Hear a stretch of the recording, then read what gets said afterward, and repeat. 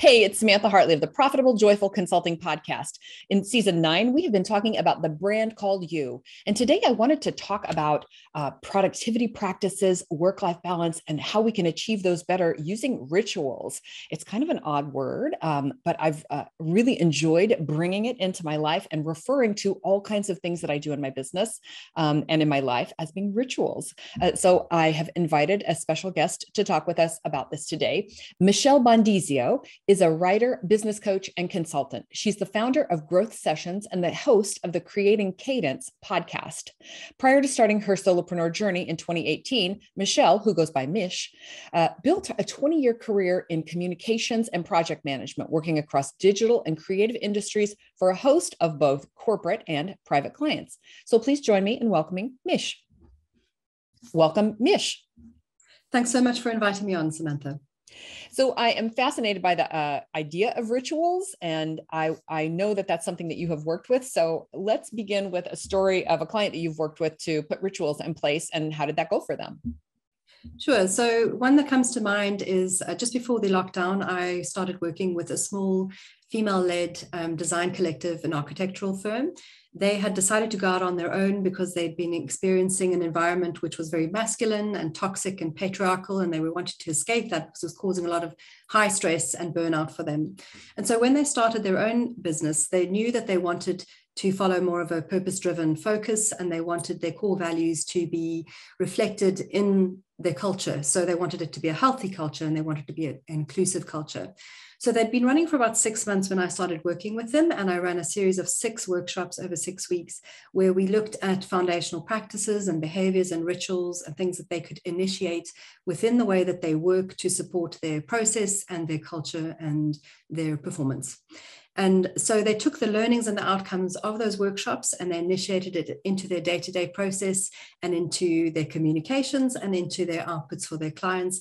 And as a result, it's become a key differentiator for them. They're flourishing and they've become so popular in terms of their niche positioning that they're having to turn work away. And that's actually a good thing because they are staggering the way that they work to support their well being. And their clients are happy to work because they know that the output and the quality of the work is worth the wait.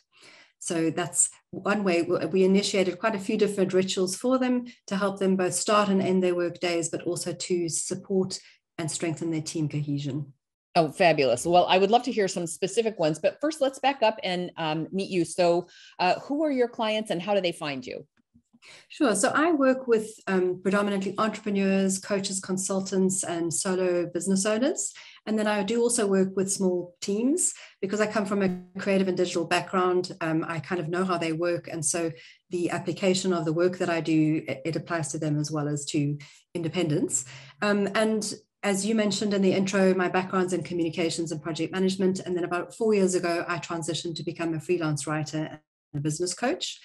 And I founded a platform called Growth Sessions in 2018. And the reason that I founded the platform was because of my own personal experience with burnout.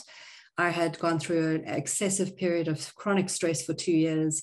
It made me very ill. I checked out of life and I wasn't able to work for more than a year.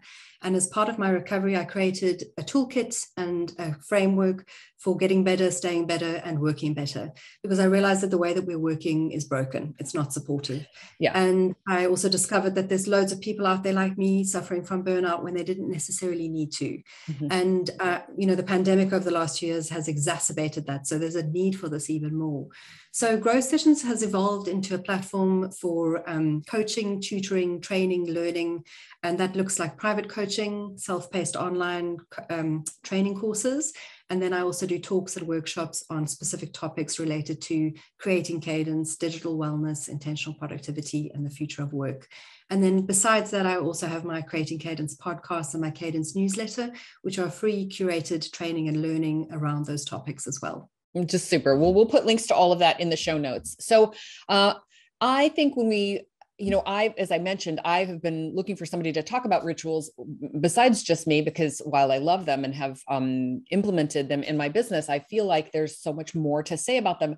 And uh, just a couple of episodes ago, I did a podcast on um, burnout and boredom because, uh, you know, uh, reasons, right? Uh, all of us have uh, been through that. I think, especially a lot of us who uh, were in corporate, there was so much burnout around me. And then, as you bring up, like with the pandemic, there, it, it seemed like, oh, there's course, this going to be this wonderful be, uh, ability to be able to work from home and things like that. And now nobody shuts off because we're at home and it's the workplace. And I feel like what people who haven't been working from home for all this time, as I have been doing, uh, are learning is when the boundaries are, you know, it's all one space for most people you know i mean they can even have a dedicated office and it can still be hard not to go back in there uh, especially yeah. you know when we have phones and you're just you know scrolling through and then you get uh, email notifications so um, what are some of the rituals that you have put in place that will prevent us from burning out Sure. So, first of all, I think it's important to understand what a ritual is at its heart. You know, we, we tend to associate them with things outside of work that might be related to celebrations or grief or something along those lines. Mm-hmm. But we also are involved in rituals every day without us even being aware of that. And so, for example, you know, you I know you're a pet owner, so when you take your dog for a walk, there's a certain set of behaviors that you are involved in to get ready to do that. That's a mm-hmm. ritual. It's basically a combination of multiple habits that come together to create a system or pattern of behavior. And they connect us emotionally to some sense of purpose um, which helps us in some cases to deal with things like fear or anxiety or uncertainty. And those are things that are prevalent in our workplace as much as outside of our workplace. So the bonus about having rituals, and it's a very important part of this concept of intentional productivity that I talk about, is to use them to help us stay grounded while we're able to create momentum in the work that we're doing. They can help us to make considered choices and design better sets of behaviors that will support us, not just our productivity, but also our well-being and our creativity. Because even if you don't necessarily call yourself a creative, what we do is creative in the way that we work. So it's important to recognize that. So in terms of examples for rituals, um, things that I do personally and things that I advocate for my clients, the first of them it's a set of them and they actually start before you even do they're outside of your workday but they support your work and for me that's a morning and evening ritual which involves writing mm-hmm. so i have a notebook. A lot of people do journaling in some way or another. There's a, an element of gratitude and visualization. But then i also focus on in the mornings three important things i want to achieve in that day and what i'm hoping to get out of it. And then at the end of the day at night when i climb into bed I'll look, look at what happened during the day and I'll write about what happened during the day and what I've learned and what might need to go better. And that process of reflection, where you are in the mm-hmm. morning, you're looking forward and then you're coming back to the present. And then in the evening, you're looking back and you're coming back to the present. It's not just a reflection process, but it's also helping you to stay on track with your goals. And it's also helping you to stay aligned with the person that you want to be in terms of the work that you're doing. Mm-hmm. So that sets you up for your day. Yeah. And it helps to keep you grounded. And then the next one is when you're starting your workday to help you get yourself into that work mode. So, for example, for me, I put my tea or coffee or water on the right hand side of my laptop. I open up my laptop turn it on while it's booting on. I open up my bullet journal on the left side because I'm left handed mm-hmm. and I'll have a little review of what's due on the day. And then instead of opening my email, I'll open my calendar 1st mm-hmm. Because on my calendar, I batch all of my tasks and I color code everything because I'm a very visual person. Me too. So I can see at a glance, I can see at a glance what's a meeting, what's deep work, what, mm-hmm. what is mm-hmm. my day like. Yeah. That set of behaviors helps prepare my mind to start. Mm-hmm. It's like, okay, we're now in the word mode to get to get working. And the same happens at the end of the day. There's a series of steps that I take. So it's not just about closing the computer down, it's reviewing what's in the bullet journal, making sure I've ticked off my tasks, checking what's coming up, and then clearing the desk, clearing the decks basically. And there's another way of um, of saying that it's uh, called resetting the room. So, uh-huh. say for example, at night you might yeah. be watching television, and then when you're finished, you take your cups to the kitchen and you yeah. plump up your cushions and you prepare everything so the room's clean and fresh for you. You do mm-hmm. the same in your workspace because clutter creates stress, and the last thing you want is to come back in the morning and everything's disorganized. See yesterday's mess. Absolutely. so, so, just one thing I want to ask you about here, because I'm speaking on not myself by any means, but I know I've heard from some people that this concept of the end of the workday is like, I'm we're not quite sure what you're talking about. So, um, what's uh, what are some ways that we can um, create such a thing that you speak of? Sure. So it, it is about a tra- transition, essentially. So some of us don't have the good fortune of having an office where we can close that door. But if you can shut things down in your mind, you're telling your mind that actually I'm transitioning out of work. So it's things like closing the applications, actually turning your computer off, closing the book, leaving everything just so. You're telling your mind with all of these tiny little yeah. behaviors, you're signaling that it's time to transition to the next part of your of your day or your evening because our work mm-hmm. hours are different for everybody really. And yeah. it's that idea of closing down and shutting, which makes it harder to come back and turn it on and just go, oh, this is just something I forgot. just one more thing. Mm-hmm. Pop back in. Exactly. Yeah. Yeah. And at this point, what's really important is about our phone usage and our rituals around our phone usage. Mm-hmm. So, um, you know, we, we're all slightly addicted, and they are really good communication tools for our business, but they're also the major uh, what is it attention fragmenter in our mm-hmm, lives. mm-hmm, yeah. and so when you have deep work tasks that you need to get involved in you might be writing a proposal or preparing for a speech or something you have got to remove that from the equation entirely. So there's a ritual that you can have around that. Maybe you put it behind you or you put it in the cupboard you turn off the notifications. The point is out of line of sight and out of reach of your hand mm-hmm. so that you focus on what you're doing and that is incredibly important yeah. You know, I, and i understand that a lot of us use that for making calls and so on but it's also about segmenting your time yeah. and so and actually studies show that if it's even if it's in the room with you it has a draw and so it actually is better to put it completely in another room. So um, I, I I love the idea of rituals, and I think a little ritual of putting it in a, like a cupboard for like a little timeout, or maybe on the you know on the bed so it can have a little rest. But you know whatever uh, we need to do to create a sense of like no, it's in its place, having a rest so that I can be doing my thing. I, I think those kind of intentional statements really help, as you're saying, like completely shutting down the programs and turning off the computer. Um, it it turns off a certain you know it, it sends a message to our subconscious. And i think uh, putting the phone away completely sends a message to the subconscious.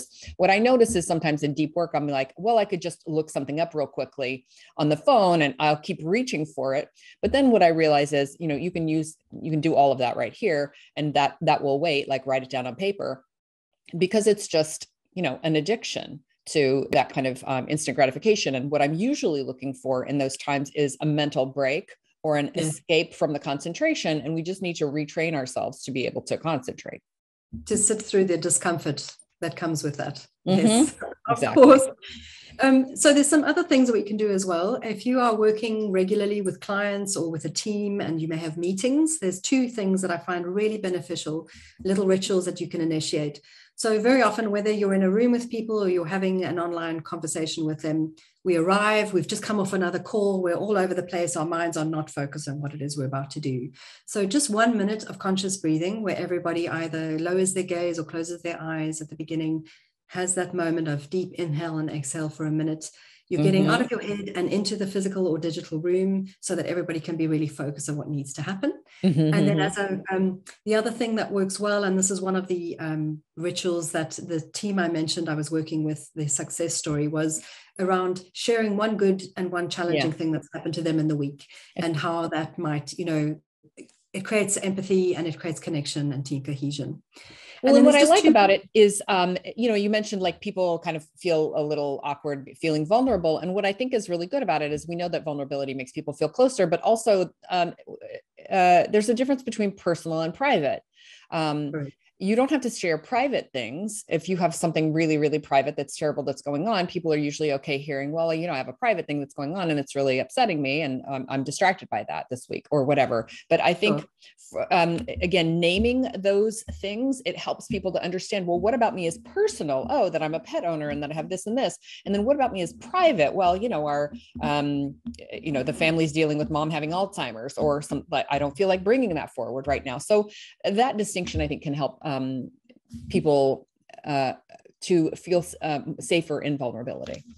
I agree. And you know, the thing is that we carry how we feel with us. So whatever's happening outside of work is going to impact yeah. on work and this and vice versa. So mm-hmm. I think it can be really helpful for a team if you're working with them to understand what's going on that might be impacting on behavior yeah. or performance so that they could potentially also step up and provide support where it's needed if you don't know how to ask for it. So those things are really powerful. And there's just two more uh, rituals that I wanted to speak about. And the first is around work wins. So uh-huh. very often, if you're, if you're working on your own, you know, as it's in our human nature to seek validation, to be recognized, to feel like we belong. And often when you work on your own, you don't get that. So thinking about what rituals you can create around celebrating both the small and the big wins. And maybe that's treating yourself to something personal, or maybe it's buying something or investing some, in something for the business, mm-hmm. or maybe it's sharing about the achievement that you've received. And very often we forget about those things.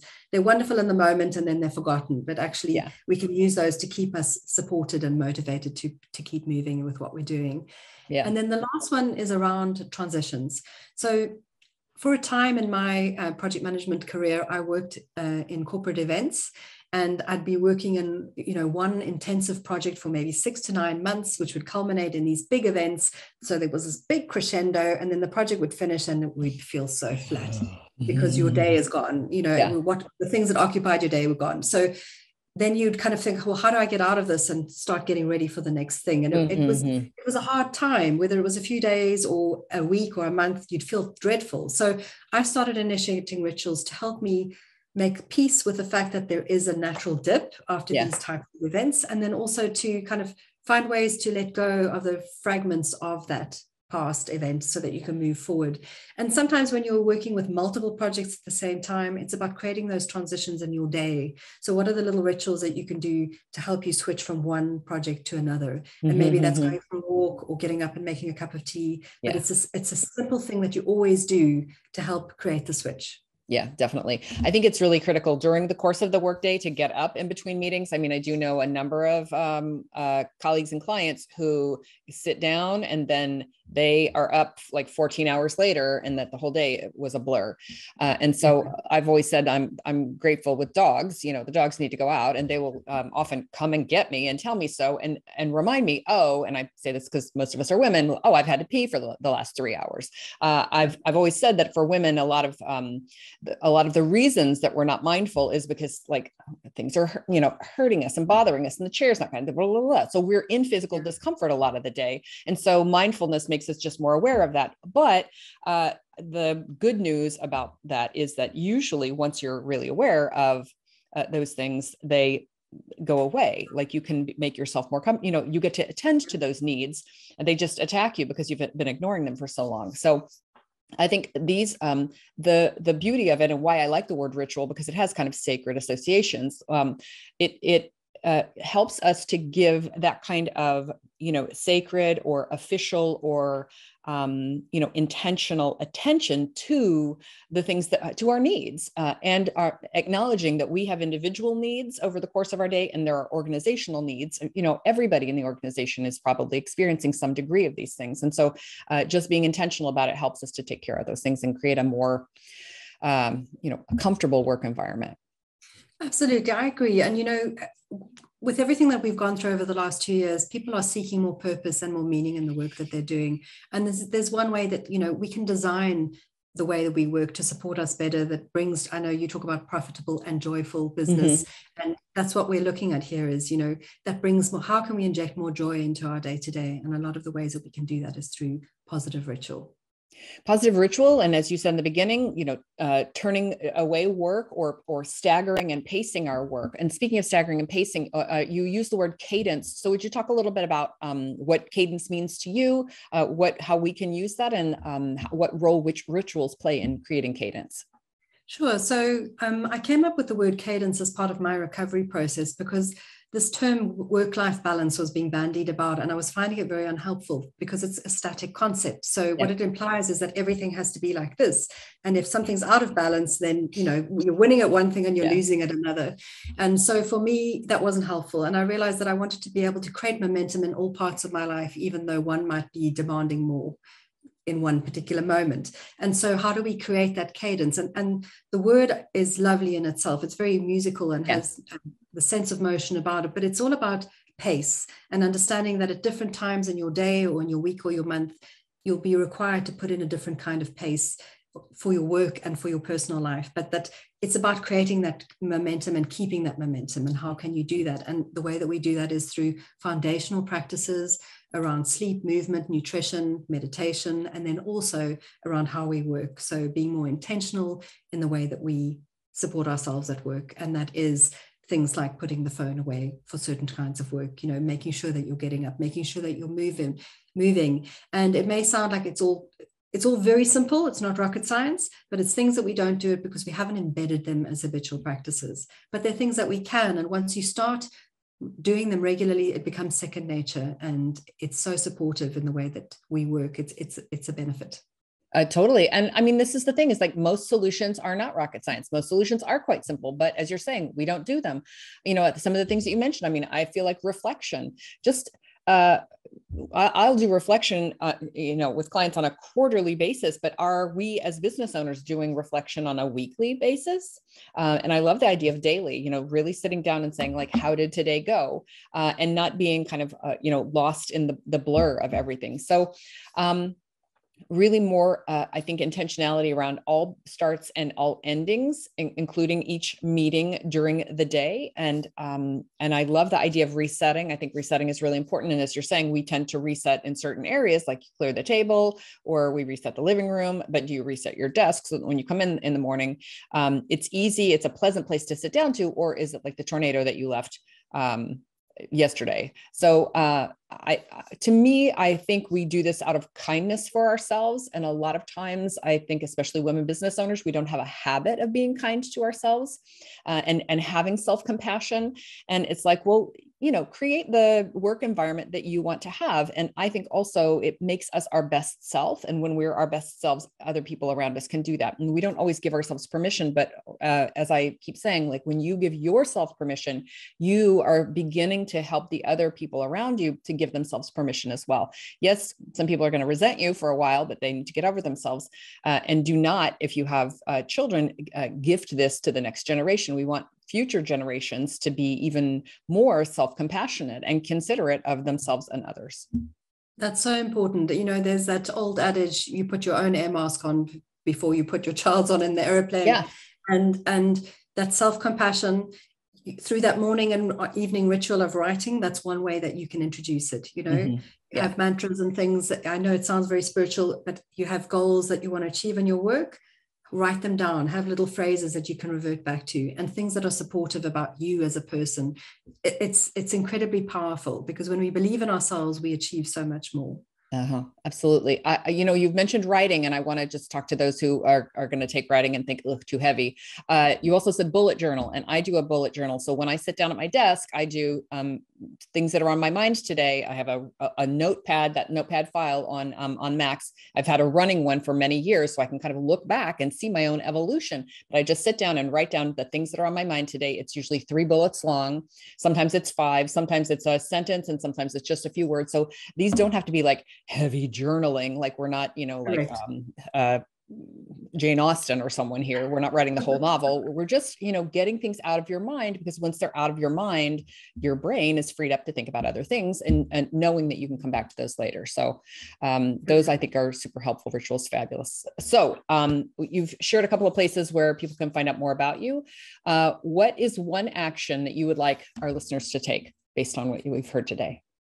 So we can't make change until we understand where we're at. We need to understand the baseline. So what I would suggest is that people reflect on where they're at at this moment. And that would be, you know, what are you doing in the first two hours of your day? And is that supporting you? Very often we're reaching for the phone and diving into the email rather than perhaps there's a better way that we could be using that morning time.